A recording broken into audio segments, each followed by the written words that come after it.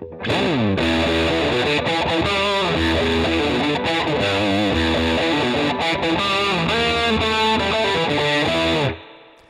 guys, it's Your Kingdom Come, and we're back here with another podcast, another episode. Today, we will be reacting to a video that Andy Stanley, one of Andy Stanley's uh, sermons, and uh, recently he put out something that was a little, would you say a little or a lot?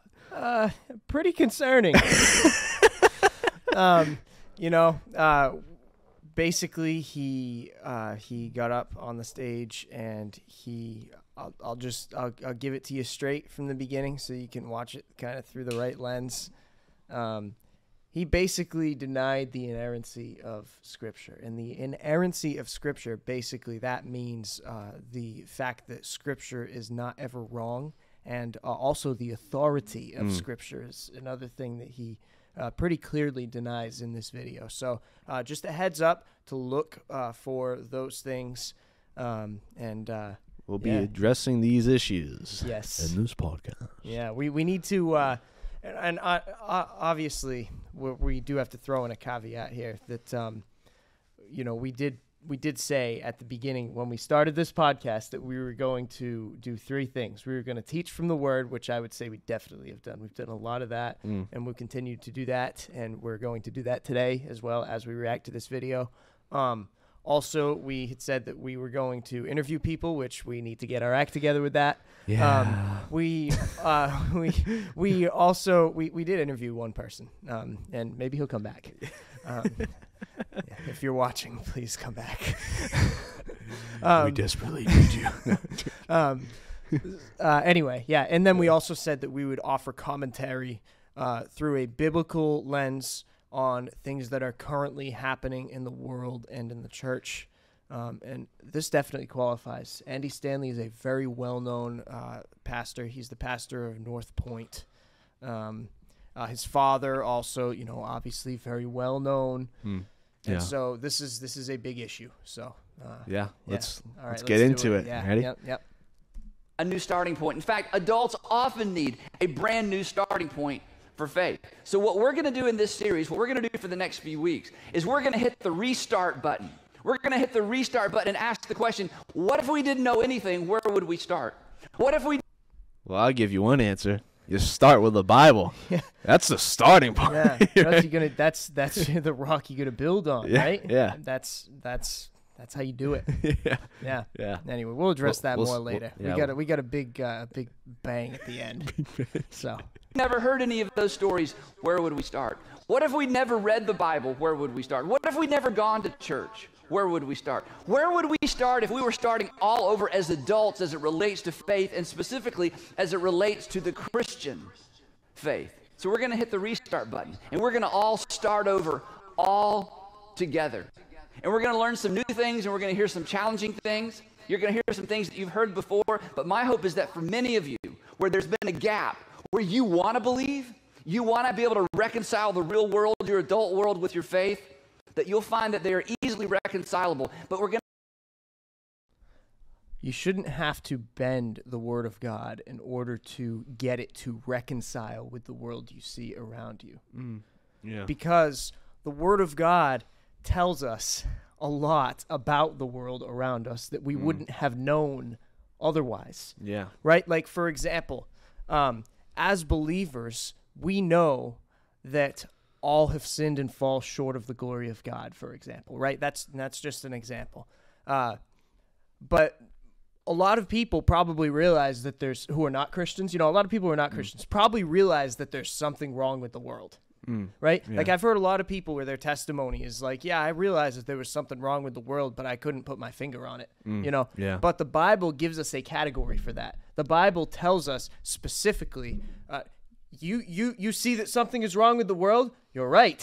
yeah. this is wrong with the world. All have sinned and fall short of the glory of God. Mm. And that's just an example. You see, you don't have to get the the the you don't have to bend the scriptures, which is something that so many have done in, in you know in this Mm. Yeah. day and age. Yeah. You don't have to bend the scriptures to get them to reconcile with uh, with the world you're seeing around you. Mm. And you don't even have to soften the scriptures to get them to reconcile, which is what you're going to see Andy Stanley do here. Yeah. Mm. You know, he's softening the scriptures. I can't, honestly, I can't give any, uh, you know, I mean, I guess he is bending the scriptures by saying that all, that that they're not the word of God, Yeah, right? Because yeah, the word of God says all scriptures God breathed. So yes, he he is in a sense bending the scriptures, but he's also softening them, Mm. right? So you don't need to bend the scriptures to get them to uh, agree with the world you see around you. Yeah. You don't need to soften the scriptures to get them to agree with the world you see around you. Mm. Yeah. You know, um, rather the scriptures give us a lens through which to view the world, and it helps us to be more informed as we go about our lives as believers. Mm, amen to that. Yeah. So- Yeah. We do not have to bend the word of God, Yeah. especially to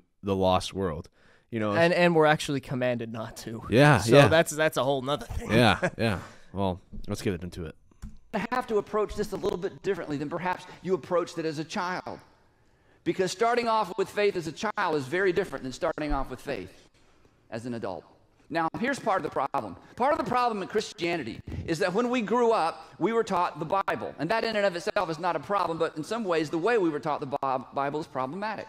Because if you grew up in a home like I did, or a culture like I did, or a Christian tradition like I did, I heard that this was the Word of God, and I've always believed that. I've heard that it was infallible. I believe that I've too. believed that. I heard that it was inerrant. There were no mistakes, and I believe that. I heard that it was all inspired from Genesis to maps. That's the way the pastor used to say it. Man, my one pastor that used to come to our Actually, church. never from have heard Genesis that. to maps, Just from the that. table No, I- I of guess end, you know, the, ta- uh, the con- table of contents all the way to maps. That the whole thing is inspired. And as a child, you say yes, sir, and yes, ma'am, and you know, Adam and Eve and Jesus and Noah and Moses and Jesus coming back. It's all equal. It's all in equal terms. But unfortunately, because the Bible was presented to us as a book, which it is not, because it was all presented as, as one holistic thing, which it is not, because we never even understood. What mm. You want to go first, or do you want me to? Hey, I'll take it, man. Okay, go Yeah. ahead. So, so he says that the Bible is not one holistic book. What?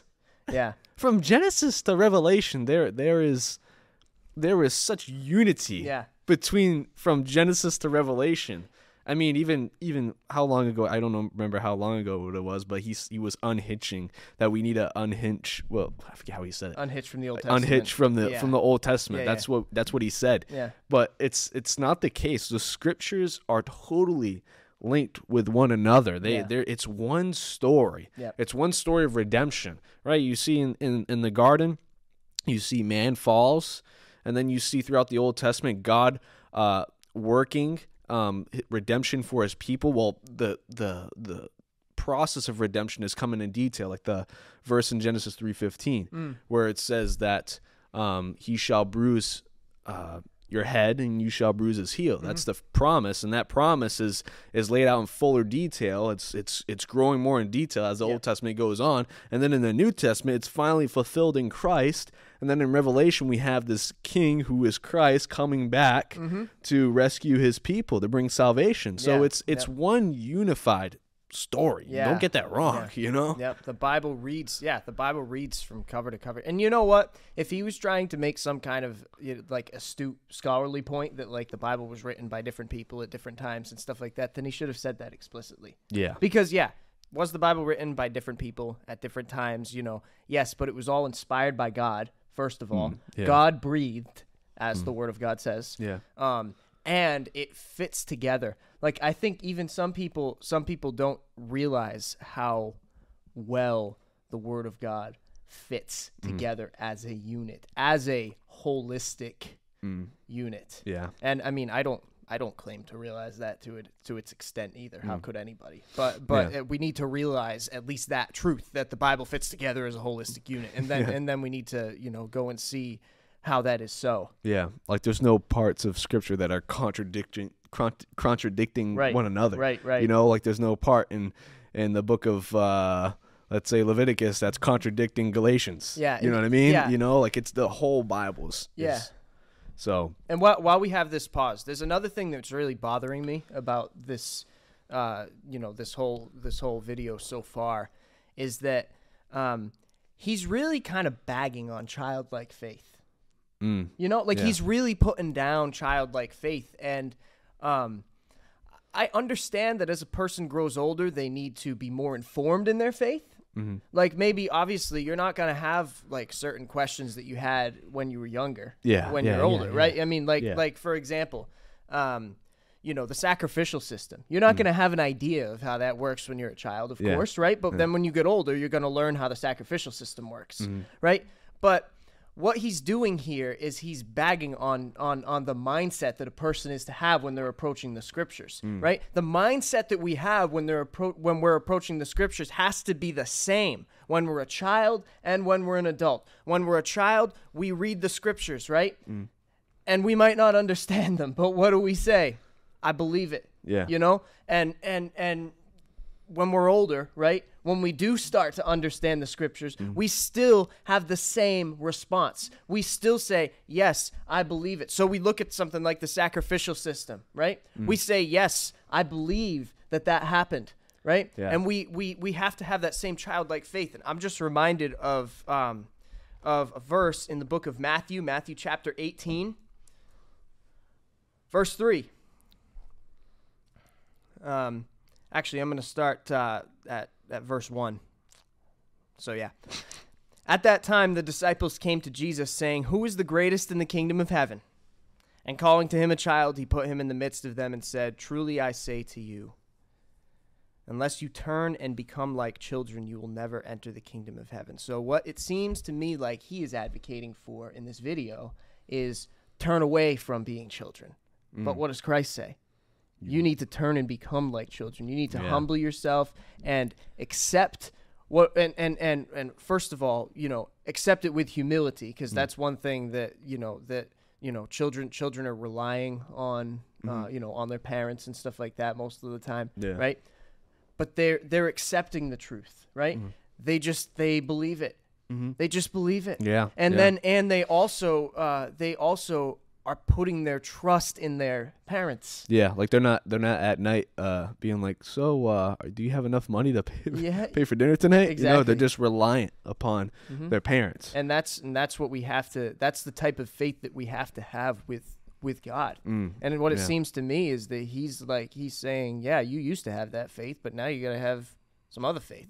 Yeah, some other strategy. some other kind of faith. or- so yeah. yeah, some other strategy. That's a good word. Like Yeah. a, some other kind of building strategy. Like we don't need more strategies in the church. We need the word of God. Amen to that. Yeah, yeah, it's true. So Yeah. All right, let's keep going. where this came from, it was a house of cards. So all someone had to do was come along and pull away a couple of the pieces, a couple of the foundational pieces, and suddenly the whole thing comes tumbling down. And so we went off to college. And we discovered that even though it was sacred, it wasn't scientific. And even though, you know, it was something to appreciate, it wasn't necessarily something that was factual. And even though there were stories in here that were inspirational, they weren't necessarily true. And then we experienced life, and there began to be more and more distance and more and more daylight between what we experienced and what we grew up believing. Um, so a couple of things here. First of all, the the Bible is both sacred and scientific. Yeah. Um, you know, and and what what the world looks at as science right now, um, some of it's true. Some of it is a perversion of the truth. yeah, it's true. Yeah. When people say it's the science, uh, for example, uh, the that um, the life does not begin at conception or something like that. When mm-hmm. people say that, that it's the science that that's the case, yeah. that's a perversion of the truth. The mm. truth is life begins at conception, yeah. and anyone who's actually committed to the science will back that up. Yeah. Oh, there yeah. are there are the there are scientists that you know that will back that up because they're committed to the truth. But anyway, that's that's a side Yeah. note. The other thing that I noticed there was that basically he's saying that that as you experience life as a Christian, right? And correct me if I'm wrong, but this is what I Hmm. seem to think that he's saying is as you experience life as a Christian, um, there seems there there grows a gap between your experience and what the Word of God teaches. Right? Yeah. Is that what he's Yeah, saying? That's And- what it seems like. Yeah. I mean, he's very like I don't know, when he describes stuff, it's almost like yeah, it's almost like reading a philosopher. Yeah, well, Or, yeah, well, you know- that's that's what you have to do. You have to appeal to some wisdom of the world in order to get around the Word of God. Yeah, it's like like every it's not clear or plain whenever like when I when I was watching this before you, I'm like, what is he trying to say? yeah, yeah. I mean, there was the, like towards the end, you're like, oh, that's really bad. but like yeah. in the middle, you're like, what is he trying to say? But yeah, no, I. Yeah. But it does seem like he, he's saying that. Well, the know? thing that's concerning to me is that's the exact opposite of my experience as a Christian. Mm, yeah. Like my experience as a Christian has been that the further I go in my walk with God, the more that I see scripture actually starting to become real and play out in my life. Yeah. Whether it be like fruits of the spirit and sanctification and things like that, Yeah. or like um you know, you start to when when you read the word of God and and God says that like, you know, if people behave this way, then this stuff's probably going to happen and then you look around in the world and you see people behaving this way and oh, look, that stuff's happening. You know? Yeah, Just yeah. things like that too yeah. um you know so uh, as as i grow in my walk and hey maybe this is just my personal experience but i really don't think it's just my personal experience No, no, no. as you go along in your life it actually comes closer you know those two things come closer reality Hmm. your experience and the word of god end up getting closer together Yeah, yeah, and that's what so that's what's supposed to take place. Like when you when you grow in your faith, you're not supposed to um drift away to say that oh the Bible's no longer uh uh, uh it's no longer God's word, it's just a book. You know, that that's not what's supposed to happen Yeah. when you're growing in your faith. When you're growing in your faith, you're supposed to grow in love with God's word. yeah You're supposed yeah to like grow david div- right Yeah, david david loved the law of god yeah, yeah, he's yeah. I mean, it's just I like when I'm like, man, the Christian life. Yes, it's a it's a paradox. You go up and down, up, but if you zoom out and you see it's a traject- trajectory like this, it's going up. Mm-hmm. And It's going to continue to grow and grow and grow and grow. You know, not not down, down, down. you yeah, know? yeah, yeah. So, yeah but Even if you grew up in a home where this book, the Bible, was so revered, perhaps you never saw anybody read it. A book that you never placed anything on on the coffee table, but you never learned to read it yourself. And you went to a church where somebody opened it up week after week, and you knew that what they were saying was important, but you didn't really understand it. And then you went into an environment that didn't respect it. And suddenly, along with your childhood faith, that starting point that seemed so relevant way back then, suddenly it all went away. See, here's what I think. i know what you're gonna say here's what I think. No. What does the Bible say? you know, like if I ever like I heard That's a word. I heard Paul Washer say he was like if I ever went to a church with my family and I heard the preacher say, uh, "I have something in my heart to tell you," or "This is what I think," he said, I walk right out of that church. you know, because it's it's like no, we don't care what you think. We care what God has to yeah, say. If if you get if you have Bible believing Christians sitting in the pews, they are not going to want you. They are not going to want to hear you start an argument by "Here's what I think." yeah, That's going to turn them right off. yeah, You know? yeah, yeah. And here's where we're going Well, here's what Andy Stanley thinks. Let's go. for the next few weeks. And here's where I'm going to challenge you a bit. And here's where there may be some misunderstanding. And here's where you may be tempted to send me an email. So just hang on. Mm. I did hang on. The Bible says, in quotes, the Bible says is not an adequate starting point or returning point for many adults. For many adults, it's not enough for me to say to you, okay, now I'm going to restart your faith. Now the Bible says, you're going to go, okay, I already did that. I already did the Bible says. I grew up with the Bible says, and I know what the Bible says. But let me tell you about my job. Let me tell you about my divorce. Let me tell you about my children. Let me tell you about my unanswered prayer. Andy, if, if we're going to try to restart my faith by starting with the Bible says, the Bible teaches, not interested. So, what I've come to believe and what we've come to believe, and the reason we're doing this series, is that the Bible says, for many adults, is not an adequate place to start. To to start. to That's- start. Yeah, he ends with to start. Yeah. So, so he basically just said the Bible's not sufficient to meet every need in your life. That's what Andy Stanley just said. You got a problem in your life? Don't go to the Bible. You you got something. Uh, if you're a Christian and you're struggling with something, don't go to the Bible. That, Yeah. That's that's literally what And- and- Andy Stanley and- said. And you know what that leads to? That leads to God's people losing all hope. mm, yeah. Because where are you going to find your hope? Where are you going to find your joy and your peace? Mm. Or even Besides in the word of, of your God, your heavenly Father. Where else are you going to find Yeah. that hope? if you have if the word of God is not true, then I have no hope. yeah, yeah. I don't. And and and I mean, the slam dunk argument for me is I mean, Andy Stanley just said that you need to restart your faith by something other than the Word of God. But Romans says, so faith comes by hearing, and hearing through the Word of Christ. Mm. That just completely contradicts what Andy Stanley said, you know? Um, Yeah. And, and it's. It's hard because you know I, I do I, I feel for him because I mean it's it's almost like I mean, you wonder if maybe this is also his personal experience. Yeah. Yeah. Uh, you know, I mean, why would someone who has believed the Bible, at least publicly believed the Bible for their whole life, all of a sudden come out now and say, risk their neck, really, to say that uh, that it's not true, I mean, unless they believed it, unless they actually believed that it wasn't true. yeah. You know, that's scary. Yeah, I, I- like the way I think about it is is just like so you're telling me you'd rather hear the voice of the world than the voice of God. Like you're you're telling me that there's something else better than than hearing God's voice in his word. Mm. You know? Yeah. Like you're telling me that that that someone's smarter, there's something wiser, there's something greater mm. than God's word. Yeah. God's written inspired word. You know that that is just a sorry. That's just a that's just a slap in the face of God to just spit on his word and say that's not enough. You know? And as I as I'm just thinking about it, you know, uh, Paul wrote to Timothy, and Timothy was a pastor, a young pastor.